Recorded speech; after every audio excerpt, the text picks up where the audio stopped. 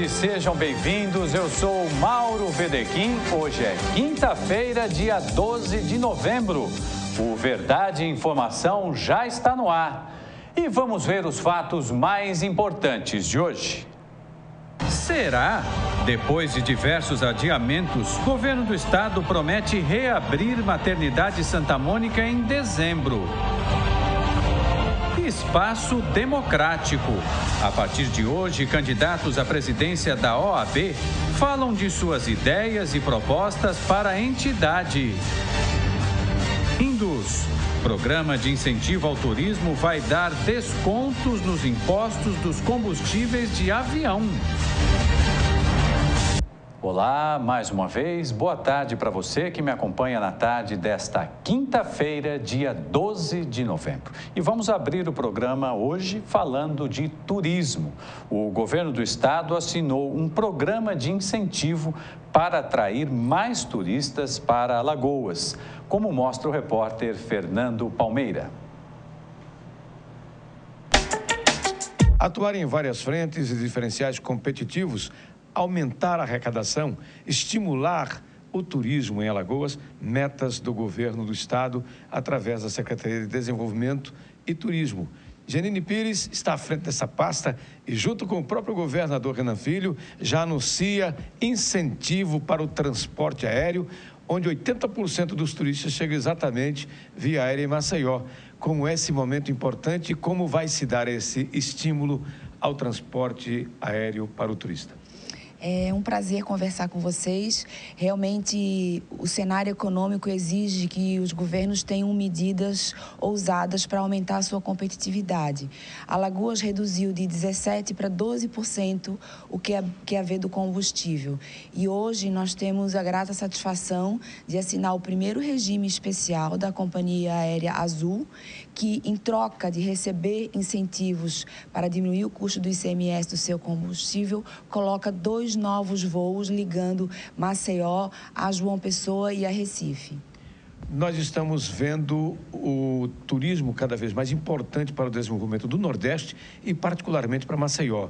Esse incentivo é de suma importância, mas a gente precisa também olhar para o mar. O turista está chegando também através do nosso caso do Porto. O que é que se pode pensar também no terminal turístico e melhores condições para aumentar ainda mais o fluxo de transatlânticos nas nossas altas temporadas.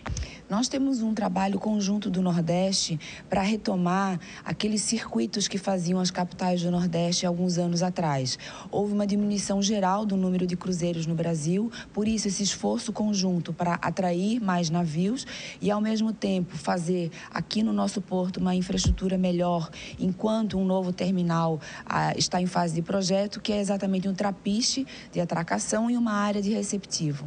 Momento em que se fala em crise, o governador e todo o seu staff, eu falo aqui Secretaria de Desenvolvimento Econômico e Turismo também sobre sua responsabilidade, é acelerar indo de encontro a tudo isso que pode chamar de crise. Como é que está sendo trabalhado já antecipadamente o nosso turismo, os atrativos para Maceió e Alagoas como um todo, dentro do Brasil e fora do nosso país? Nós temos que atuar basicamente em duas frentes. Né? A primeira é melhorar o desenvolvimento do turismo, ou seja, as infraestruturas, a qualificação das pessoas, a legislação, a exemplo do que a gente faz hoje com o QAV. E, por outro lado, melhorar o nosso trabalho de promoção e marketing para atrair mais pessoas, fazendo com que a experiência dos turistas aqui seja positiva e eles possam hoje, por meio de todas as redes sociais, das suas relações pessoais e familiares, promover e falar de Alagoas. É, e acho que a palavra-chave é parceria. É, o governo de Alagoas tem trabalhado junto com as prefeituras e, sobretudo, com as entidades privadas e com os empresários de turismo para que a gente possa inovar mais em todos os aspectos, melhorar e, sobretudo, atrair esses visitantes que, ao final do dia, são aqueles que vão gerar emprego, renda e melhorar o nosso desenvolvimento econômico e social. Redução de impostos de combustíveis para a aviação, do turismo, de transporte de passageiros aéreos, o que mais se pode nesse setor incentivar. Esse foi está sendo um ano muito difícil para a aviação civil brasileira.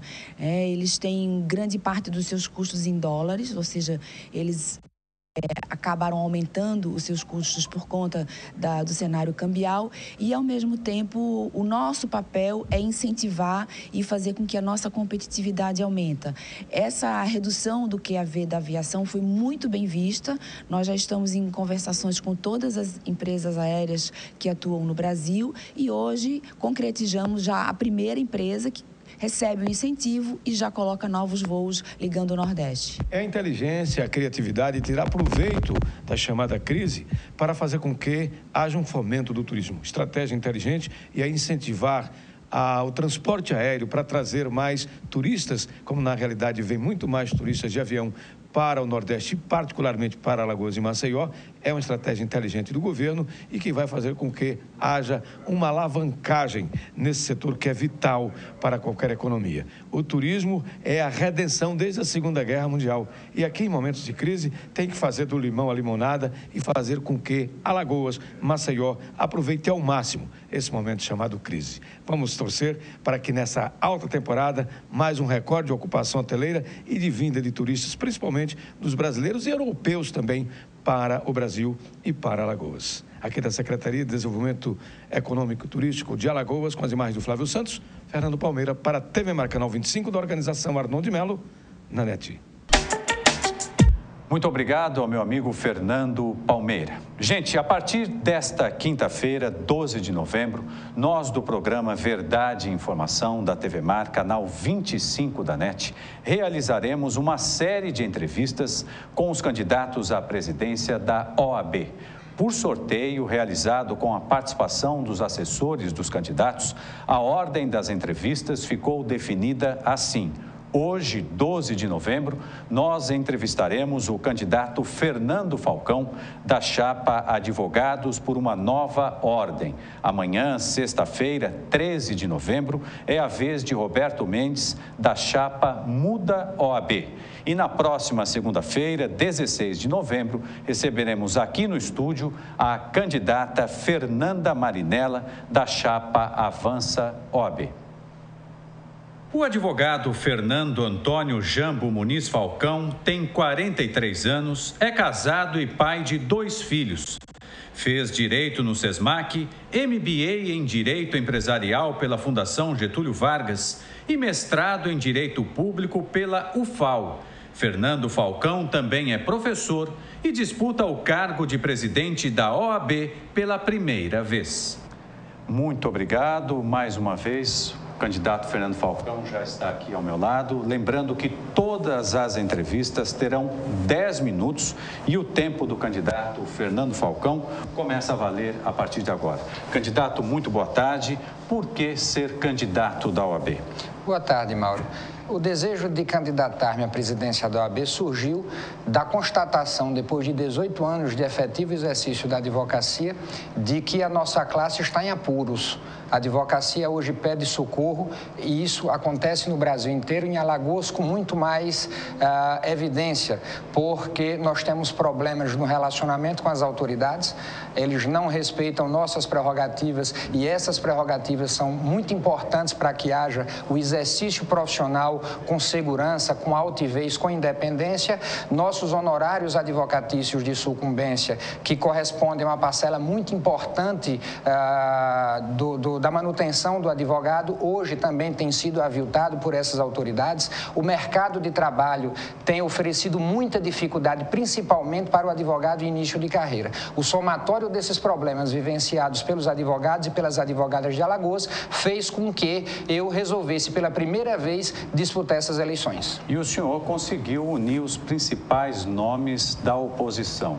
Isso é um sinal de que realmente a sua candidatura era necessária, é o anseio de parte da sua classe? Olha, eu fico muito feliz em ver que os colegas confiaram e viram em mim e no Luciano Almeida, o candidato a vice da chapa, as pessoas que pudessem melhor representar essa insatisfação que é muito grande. Essa eu costumo dizer e acredito firmemente nisso, que a atual gestão foi tão incompetente que teve como principal mérito agrupar pessoas que tinham visões ideológicas diferentes no mesmo grupo que busca resgatar OAB e trazê-la de volta para os advogados. Candidato, vamos falar agora não só para os advogados, mas também para os estudantes de direito.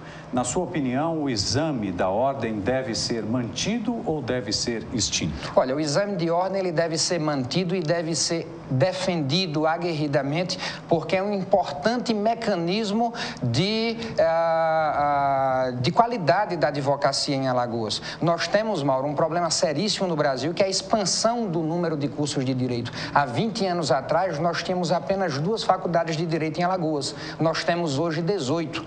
Há 20 anos atrás, existiam 200 faculdades de direito no Brasil. Hoje são 1.306. E o que tem acontecido é que algumas faculdades não têm qualificação qualificado adequadamente os egressos da academia. A função principal do exame de ordem é exigir do candidato que mostre suficiência profissional. Nós lidamos, nós os advogados, com valores muito importantes da sociedade, o patrimônio, a liberdade, e é preciso que o graduado em direito mostre um mínimo de qualificação para que possa exercer a profissão e lidar com esses valores da sociedade. Candidato, eu queria que o senhor falasse agora para nós, para os nossos telespectadores, e também, é claro, para os eleitores aí da OAB, as suas principais propostas. O que, que o senhor mais pretende fazer? Não sei se há uma linha, uma lista de prioridades na sua avaliação. Mauro, nós temos, na verdade, um grupo de quase 30 propostas que nós dividimos em alguns eixos temáticos. Uma das principais é a democratização do mercado de trabalho.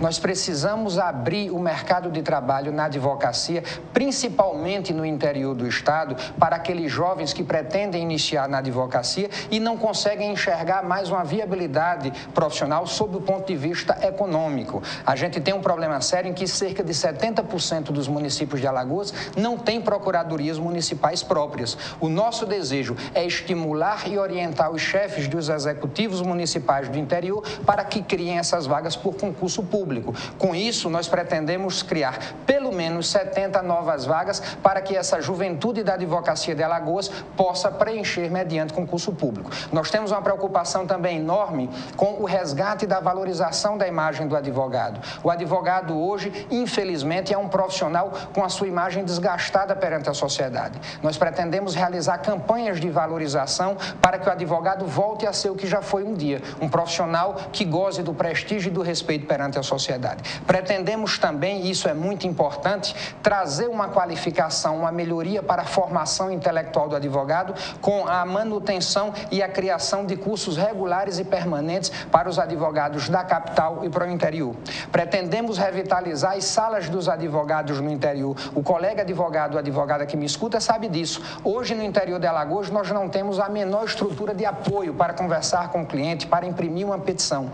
Nós pretendemos criar aqui na capital os chamados escritórios compartilhados. Infelizmente, nem todo advogado consegue ter o seu próprio escritório. E nós pretendemos, ali no espaço do prédio histórico da OAB no centro, criar salas individuais de atendimento com uma grande recepção, com uma secretária, onde o advogado, sem nenhum ônus, poderá reservar aquele espaço por hora para atender o seu cliente, para confeccionar sua petição. Portanto, é um conjunto de propostas bastante que basicamente visa valorizar a imagem do advogado e defender as suas prerrogativas, que visa enquadrar, ou melhor dizendo, que visa inserir o advogado iniciante nesse mercado de trabalho e também no que diz respeito à qualificação desses advogados para que sejam profissionais mais competitivos. Candidato, o senhor já citou duas vezes a questão das prerrogativas, que é, sem dúvida nenhuma, muito importante para o exercício da profissão do advogado. Nesse caso especificamente, o senhor tem algum plano, algum plano de meta de estreitar as relações com o Ministério Público, com o Poder Judiciário? Como é que o senhor vê essa questão Olha, em relação eu vejo, às prerrogativas? Eu vejo. Só para informar, já passaram cinco minutos Obrigado. Eu vejo que a gente deve atuar em duas frentes bem definidas. A primeira delas é a qualificação do advogado recém-ingresso é, na instituição. Nós precisamos criar cursos de ética na advocacia e cursos de prerrogativas para que os jovens advogados eles possam conhecer quais são os seus limites de atuação. Por exemplo, as faculdades formam um advogado em curso em, em matérias de ética geral. Nós precisamos ensinar esses jovens advogados a ética na advocacia. E nós precisamos também ah, incutir em cada um advogado a importância da defesa da prerrogativa. Nós lidamos, Mauro, diariamente com autoridades e não são raras as vezes que essas autoridades são autoritárias. E essas garantias chamadas prerrogativas, muito antes de se considerarem privilégios do advogado, elas são, na verdade, mecanismos necessários para que a, para que a gente possa atuar com segurança, com independência. Então, a defesa da prerrogativa nós pretendemos também fortalecer, criando um tribunal de prerrogativas. Essa é uma experiência exitosa na OAB do Mato Grosso e que tem rendido excelentes frutos. Nós pretendemos criar um órgão colegiado formado por cinco colegas advogados para que, diante de qualquer violação de um direito do advogado, esse tribunal possa imediatamente instaurar um procedimento de ofício e representar perante a Corregedoria do Poder Judiciário, do Ministério Público ou da, a, da Segurança Pública do Estado de Alagoas para que se adotem as medidas necessárias contra todo aquele que não respeitar as garantias que o advogado tem no exercício da sua profissão. Candidato, quando outros advogados souberam que o senhor estaria aqui hoje, eles me procuraram e disseram: Mauro, pergunte ao doutor Fernando como é que ele vai fazer para melhorar a relação entre o corpo de advogados alagoanos do interior e a capital, onde fica a sede da OAB. Olha, infelizmente os colegas do interior eles são mais desassistidos do que os advogados da capital. Ah, e isso sob vários aspectos. Né? Eles não têm regularmente cursos da sua escola superior de advocacia, eles não têm salas de advogados e eles sofrem com um problema adicional, que é a falta crônica de juízes e de membros do Ministério Público público no interior.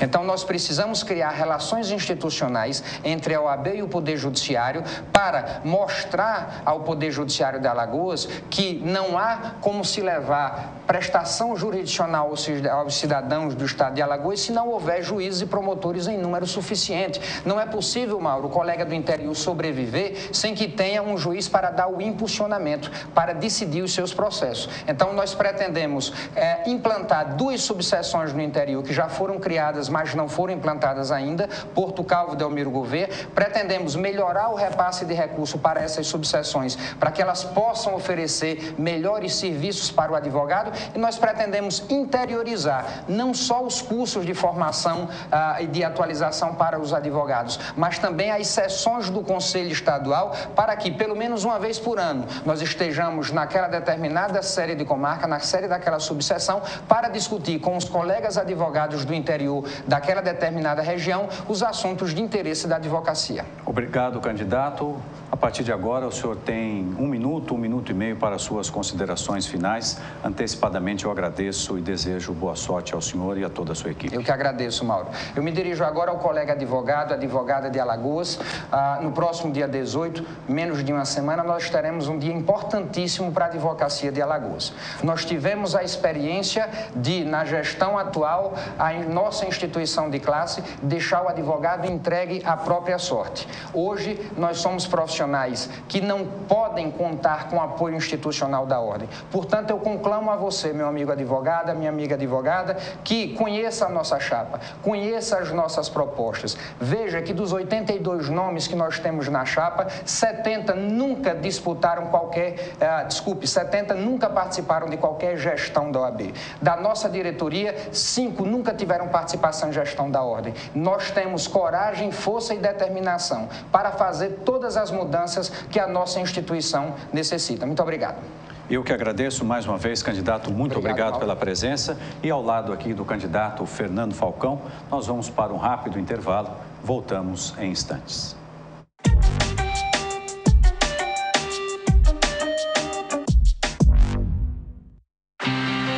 Brasil atravessa uma das piores crises econômicas de sua história. Em vez de reclamar, o governo de Alagoas trabalha mais forte. Os primeiros resultados a gente já começa a ver na saúde, na educação e na segurança. Os crimes violentos caíram 20%. O número de roubos caiu pela metade. Na educação, 60% das escolas de Alagoas estão sendo monitoradas por câmeras de vigilância. Até o final deste ano, chegaremos a 100%. Até 2016, o governo de Alagoas vai implantar a educação em tempo integral em pelo menos uma escola de ensino médio de cada gerência regional. Na saúde, o governo do estado vai inaugurar a reforma da maternidade escola Santa Mônica. A ampliação vai melhorar a estrutura física do hospital e expandir o número de leitos. Essa é a receita do governo de Alagoas para enfrentar a crise. Governar com iniciativa. Transparência e muito trabalho. Governo de Alagoas. Trabalhando sério. Consulte o site do Tribunal de Contas de Alagoas. Nele você encontrará informações completas da instituição. Sua participação é uma das formas de exercer a fiscalização dos recursos públicos em nosso estado. Serviços e consultas, notícias, escola de contas. Acesse o site do Tribunal de Contas de Alagoas. www.tce.al.gov.br. A transparência como forma de aproximação com a sociedade.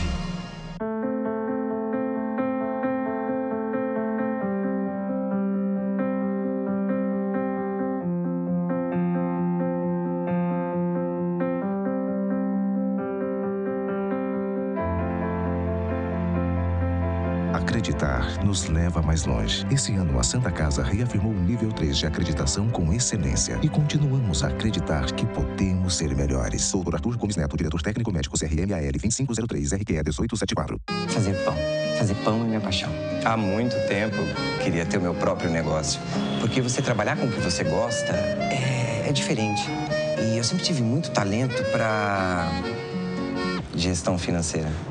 Ninguém abre uma padaria por ter talento em finanças. Para isso existe o Sebrae, para ajudar na gestão do seu negócio. Palestras, cursos, consultorias, tudo na medida para você. Tem uma microempresa? Faça um grande negócio. Procure o Sebrae. Tem coisa na vida que a gente nunca esquece.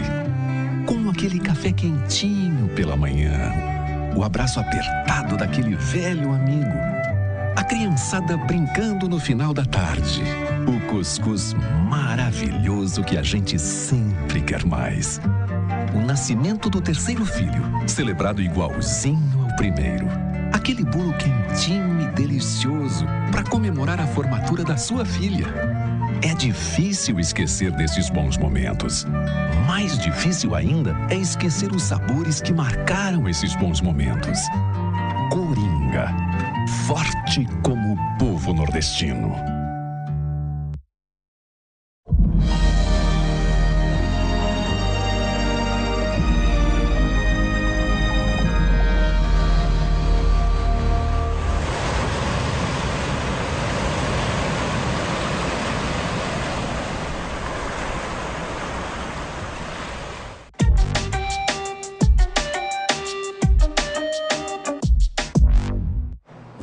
Voltamos com Verdade Informação, lembrando que amanhã continua a série de entrevistas com os candidatos à presidência da OAB. Amanhã será a vez do candidato Roberto Mendes.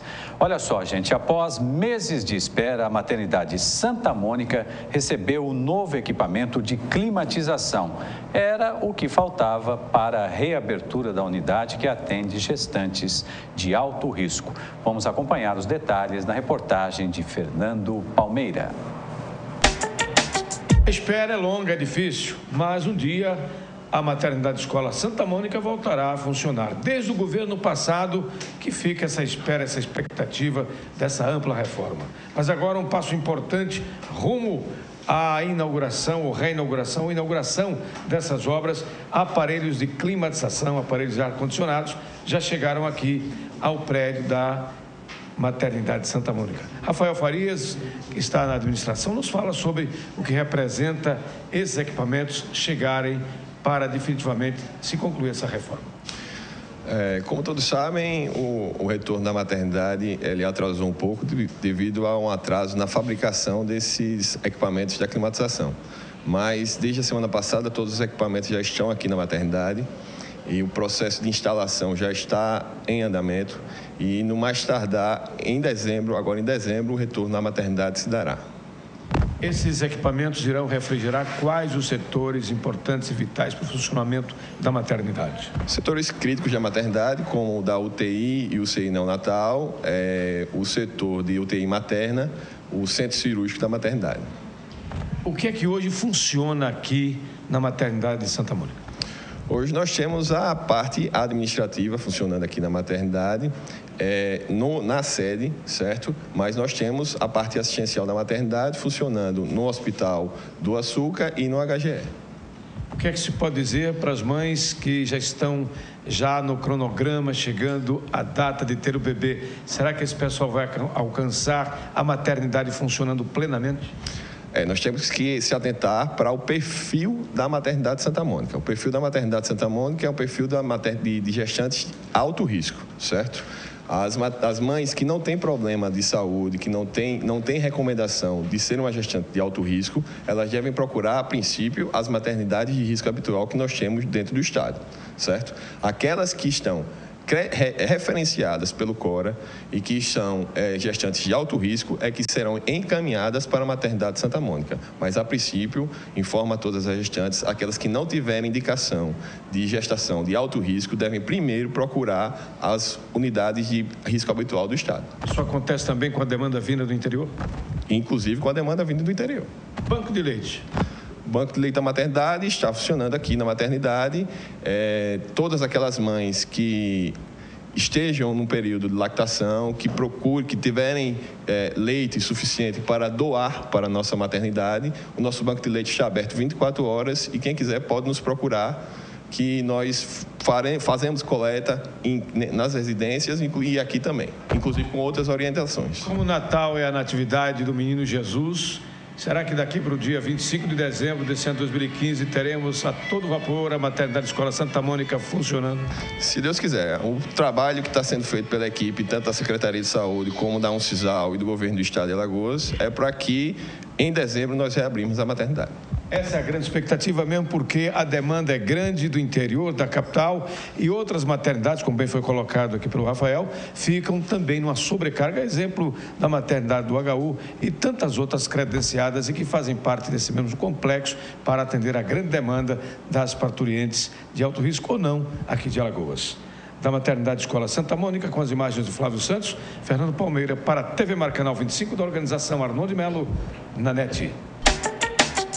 Muito obrigado, Fernando. Não custa lembrar, né, gente, que essa reabertura já foi adiada ó, diversas vezes. Quem sabe agora, como disse o Fernando, por obra e graça do menino Jesus, a Santa Mônica volte a funcionar a pleno vapor. Começa nesta sexta-feira o primeiro Congresso Alagoano de Direito Criminal. Serão debatidos temas como delação premiada e crimes contra a honra e crimes sexuais. Quem tem os detalhes ao vivo é o repórter Viderlan Araújo. Boa tarde, Viderlan.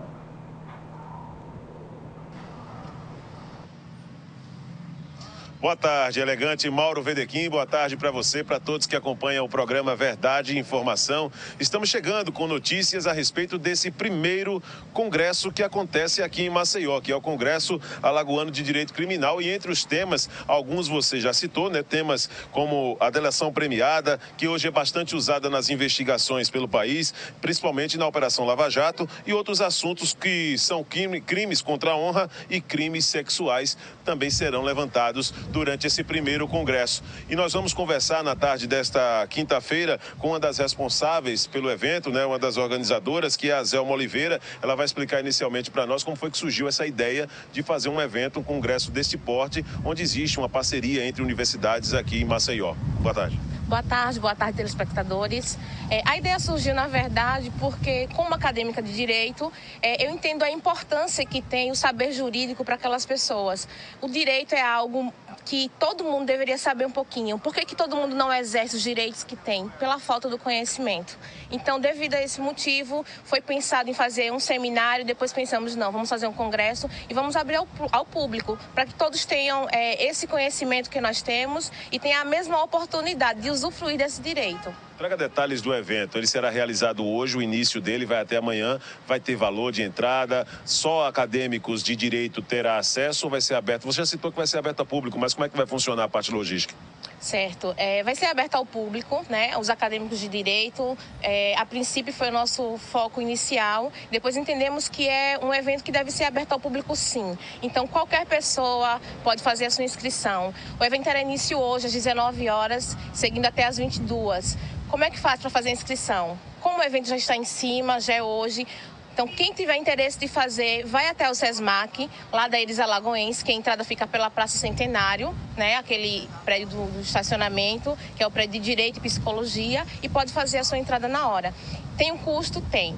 Profissional e simpatizantes do tema vai estar pagando 40 reais. Alunos vão pagar 30 reais. E os alunos da casa, no caso SESMAC e Estácio, tá? Só lembrando que é uma parceria entre a Estácio é, e o SESMAC, vão pagar apenas 25 reais valor de estudante. E a respeito da estimativa de público para esse evento nos dois dias, você que faz parte da organização, qual é a estimativa?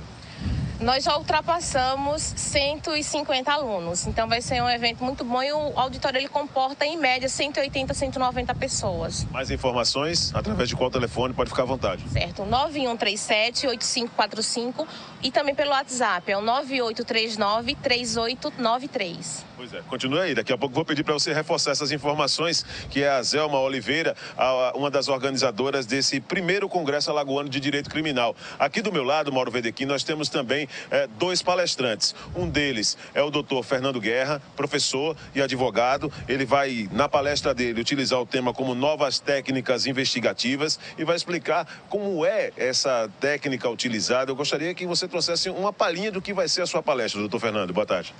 Boa tarde a todos. Como já dissera um certo filósofo, que conhecimento é poder, Viderlan?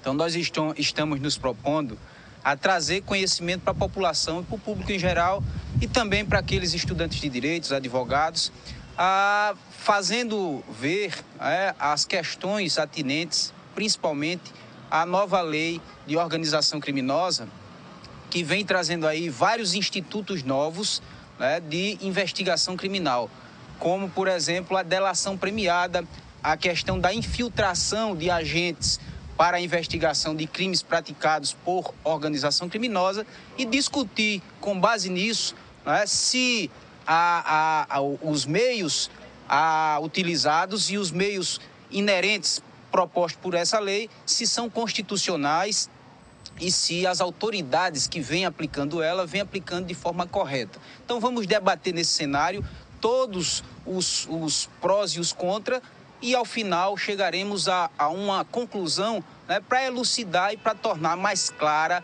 né, a aplicação desses institutos que hoje está em voga, né, sobretudo porque essa lei de 2013 ela trouxe o conceito de organização criminosa, ela trouxe a procedimentalização, mostrando como é que o delegado deve fazer, como é que o promotor deve fazer, como é que o juiz vai atuar e como os operadores também, como o advogado, irá a, também acompanhar e atuar para que a lei seja aplicada de forma correta, razoável né, e legal. Então isso é que vai ser discutido desse Congresso, trazendo essa a forma de pensar diferente chamada visão paralaxe, né? mudando o foco do processo penal e do direito penal voltado para o acusado e observando a organização criminosa praticada com macrocriminalidade por diversas pessoas ou mais de quatro pessoas. Então é isso que nós vamos discutir. Doutor Fernando, eu acho que nós temos uma obrigação até mesmo de levar a informação de uma maneira precisa para as pessoas. O que é de fato, eu sei que isso tem sido batido bastante né, nas emissoras de televisão, nas grandes emissoras do país também, aqui na TV Mar, mas o que é de fato a delação premiada? Eu queria que você trouxesse em linhas gerais o que é a delação premiada. Olha, a delação premiada é exatamente esse instituto né, especial ou extraordinário de investigação criminal que vem sendo aplicado no direito penal, no direito processual penal, como um fator do Estado né, do, do Estado como si para tentar elucidar crimes. Né? É uma forma de colher uma informação de alguém que está participando do crime ou que a, praticou o crime, visando elucidar o crime, prender os demais autores ou coautores ou partícipes, recuperar né, a, o que foi objeto desse crime, a, inclusive a soltar reféns, pessoas sequestradas. Então, tudo isso é utilizado desse instituto como técnica investigativa para se chegar ao fim maior do processo penal, que é exatamente esclarecer, chegar à verdade que nós pretendemos. Então, esse instituto é um instituto lançado né, pela legislação pátria para que o Estado possa ter mecanismos de combater a criminalidade que hoje é uma criminalidade organizada, concatenada. Nós passamos aí a evolução do direito né, e essa evolução do direito, a, ela evoluiu a um ponto é, que o, o, o, direito não pode parar, né, ficar parado no tempo e esperar que os criminosos evoluam né, e não se aplique nenhuma técnica nova. Então tem que evoluir. Agora tem que evoluir dentro do Estado democrático de direito, observando a Constituição. Então é isso que a gente vai discutir, mostrando que a lei tem uma finalidade excelente, até porque todos querem combater o crime. Agora, na aplicação, né, tem que se verificar esses dispositivos constitucionais para não se praticar arbitrariedades. E eu tenho também, Mauro Vedequim, aqui mais uma das palestrantes, né? O, doutor Fernando Guerra será um dos palestrantes e a Lauda Lavínia, ela também vai abordar um tema que é muito atual, um tema muito interessante também, Lei Maria da Penha. Lauda, queria que você falasse também um pouco do que vai ser essa sua palestra nesses dois dias, nesse primeiro Congresso Alagoano de Direito Penal. Boa tarde. Boa tarde, senhores. É, a Lei Maria da Penha é um instituto extremamente importante, inclusive uma lei de conhecimento popular. Acho que cerca de 90% da, das pessoas conhecem ou já ouviram falar sobre essa lei. A intenção é, num primeiro momento, trazer o, o conceito de violência doméstica e familiar, quem são esses agressores, a extensão da lei né, a, a, aos agressores, quais são as penalidades, os tipos de assistência que as vítimas estão sujeitas, né? Elas podem ser submetidas, os efeitos que essas violências causam, os tipos de violência, os efeitos mais danosos também que são causados a essas pessoas que são vítimas. imagine sermos agredidos por pessoas que amamos. Não é verdade? é verdade? Então, a intenção, acima de tudo, inclusive por ser a única mulher da banca, é poder explicar com mais, de forma mais detalhada como é que funciona essa legislação, quais são as aplicações e, acima de tudo, incentivo à denúncia. Pois é, Mauro Vedequim, esses são os palestrantes. O doutor Fernando Guerra, pode ficar aqui, doutor, também, né? Doutor Fernando Guerra, a doutora Lauda Lavínia e também a Zelma Oliveira. Eles são responsáveis, claro que a Lauda será palestrante, o doutor Fernando Guerra também palestrante e a Zelma Oliveira, ela será organizadora do evento que acontece hoje. Eles estão à sua disposição, Mauro, para qualquer tipo de colocação aí nos estúdios. Fique à vontade, Mauro. Videlan, muito obrigado aí. Em primeiro lugar, queria que você levasse aí os meus sinceros parabéns, porque é uma iniciativa extremamente bem-vinda no momento em que, como você já disse, né, a Operação Lava Jato mexeu com tudo que é lei. O juiz Sérgio Moro mexe daqui, mexe dali e todo mundo diz que ele conseguiu construir um processo em que não há brecha para recurso. É por isso que tem peixe grande aí que está preso. Queria que você perguntasse aí para o doutor que está aí com você, Videlão, o seguinte: a delação premiada, esses mecanismos que têm sido usados aí durante a Operação Lava Jato, se isso mudou um pouco o entendimento da lei, embora a lei não seja tão nova assim. Ela já existe um tempo e parece que está ajudando a concretizar a justiça no Brasil, né, Videlan?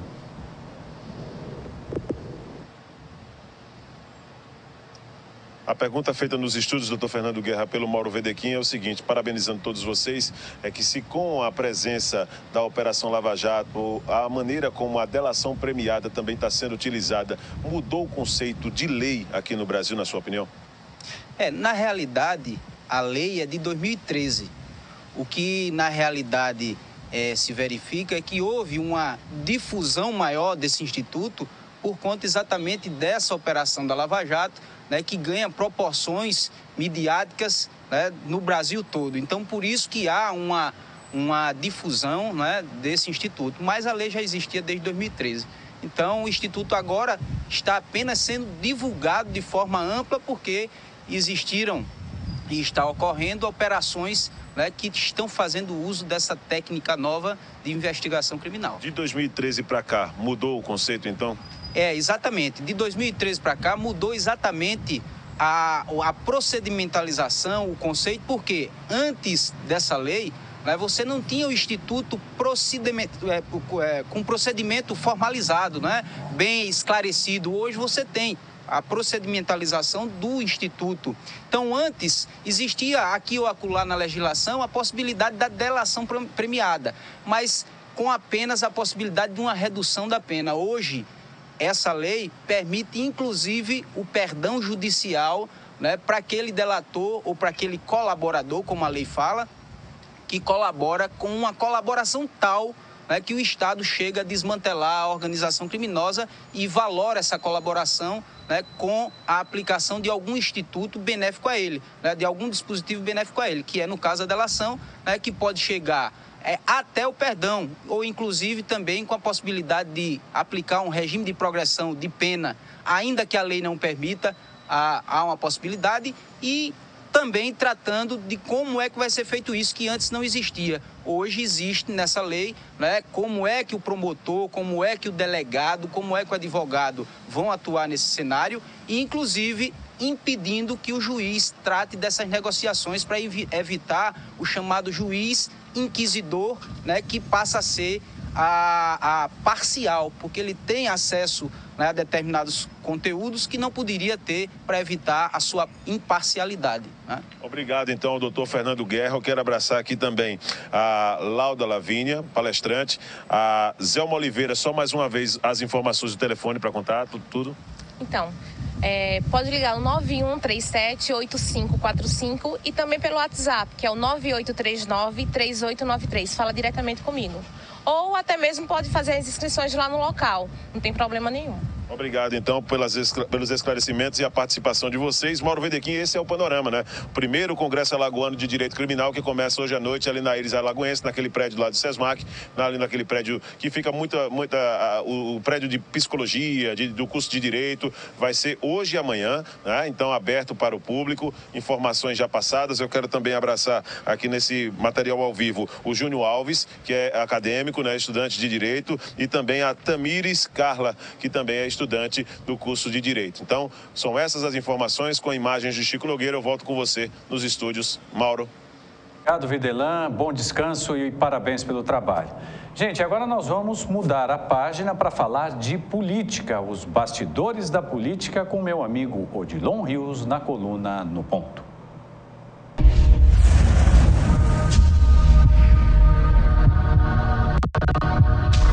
A ignorância é como um mar de lama, avança sem controle, sem uma liderança. Por onde passa, deixa um rastro de burrice envolvendo grandes massas. Ser ignorante entre alfabetizados virou status.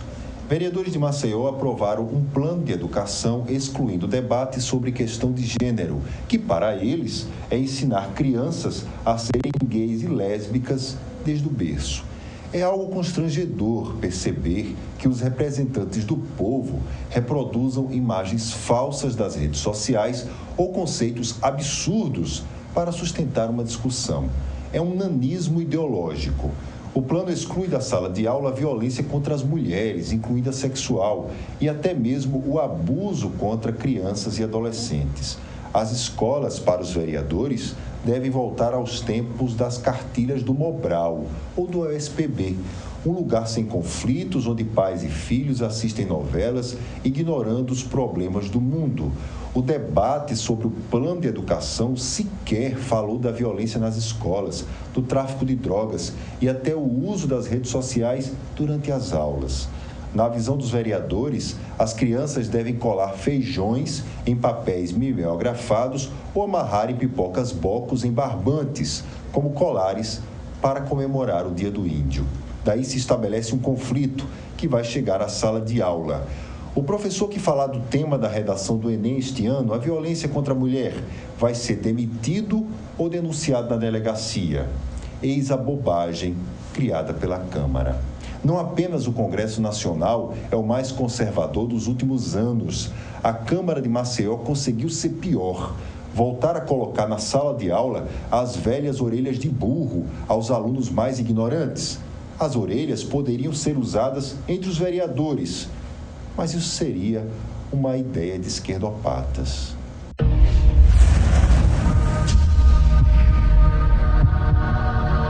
Obrigado a Odilon Rios. Gente, hoje acontece o sorteio da Mega Sena que vai pagar o prêmio de 80 milhões de reais. O sorteio será realizado a partir das 8 horas da noite pelo horário de Brasília. Segundo a Caixa Econômica Federal, esse será o maior prêmio deste ano de 2015. Então, se você vai jogar toda a sorte do mundo, se ganhar, liga para a gente só para dizer fui.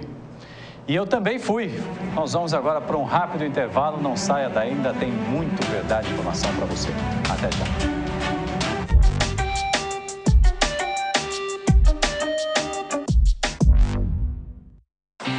Atravessa uma de suas piores crises. Em vez de reclamar, o governo de Alagoas trabalha mais forte. Na segurança, o governo do estado reduziu em 20% os crimes violentos. Despencaram também os números de roubos a coletivos e casas. Na educação, 60% das escolas públicas já têm vídeo monitoramento. Em breve serão 100%.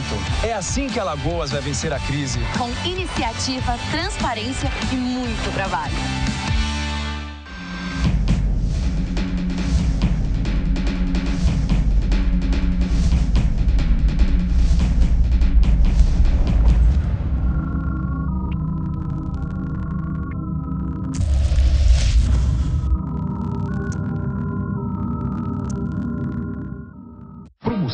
Aniversário Galpão Sofisticador. Sofá retrátil 10 de 149,90. Toda loja com 30 a 50% de desconto real. Nas compras à vista acima de 1999, você ganha uma linda poltrona. Galpão Sofisticador, Avenida Menino Marcelo 280. O quanto a indústria é importante para o Brasil? Sem a indústria da moda, a gente não teria se encantado com elas. Sem a indústria automobilística, não teríamos tantos ídolos. Sem a indústria médica, muitas vidas não teriam sido salvas. A indústria química é a base de todas essas indústrias. A Braskem tem orgulho de ajudar a produzir um país tão forte quanto seu povo. Braskem, estratégica para o Brasil, inovadora para o mundo.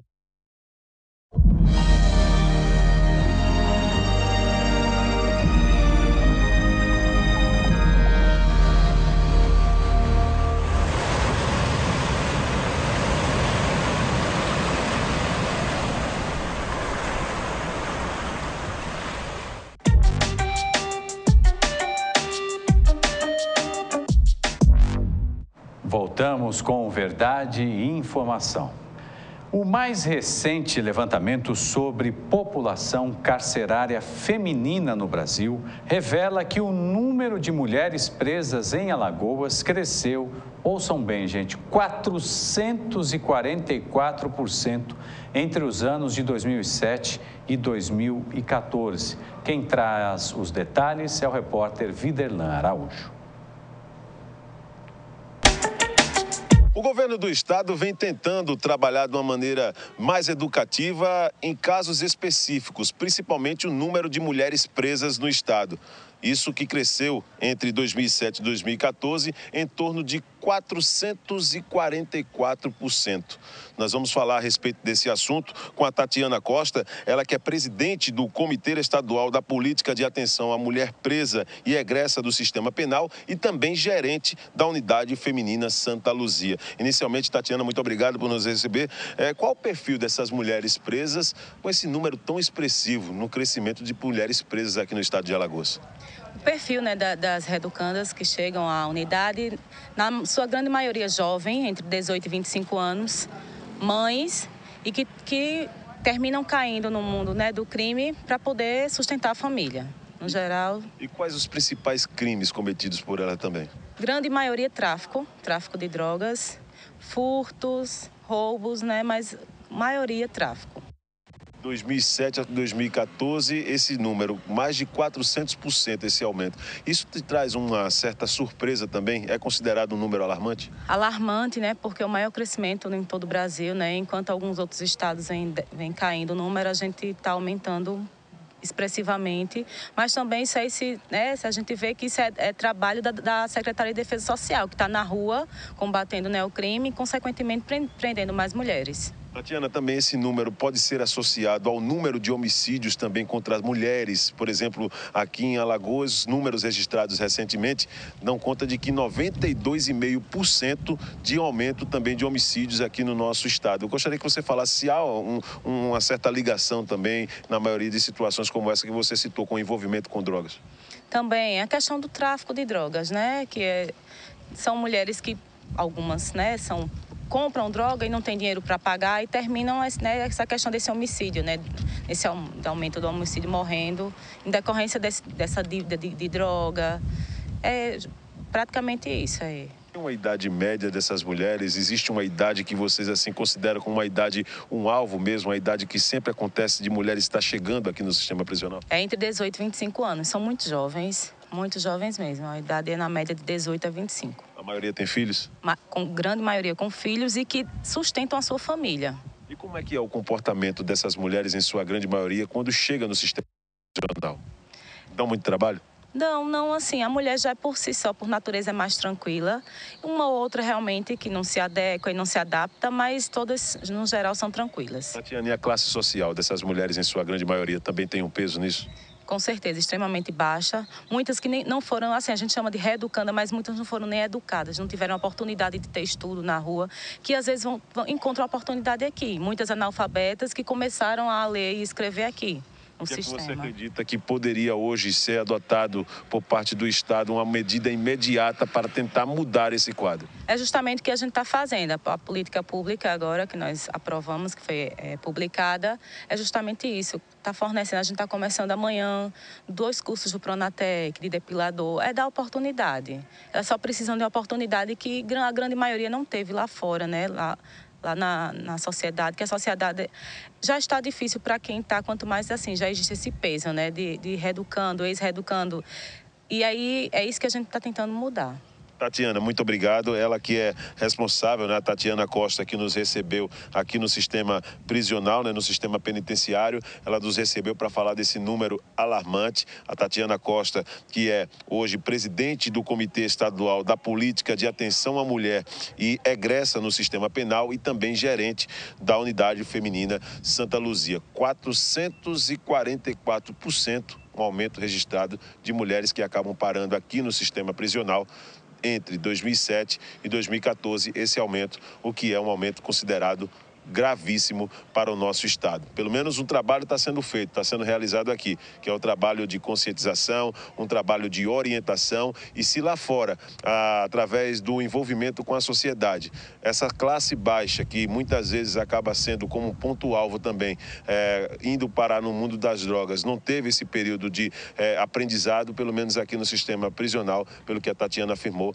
essas mulheres têm tido um caminho, têm tido um direcionamento para quando terminar a pena e for devolvido devolvida novamente para a sociedade, possa buscar novos ares. Aqui direto do sistema penitenciário, com imagens do Chico Nogueira, Viderlan Araújo, para a TV Mar, canal 25 na NET.